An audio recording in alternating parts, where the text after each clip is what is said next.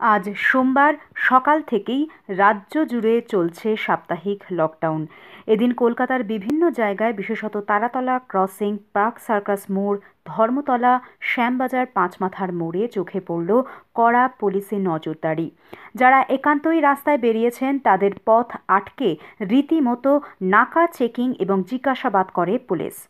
অন্যদিকে অলিতে গলিতে নজরদারি চালাতে দিনভর দ্রোণের মাধ্যমে নজরদারি চালালো প্রশাসনিক স্তরের কর্তা ব্যক্তিরা।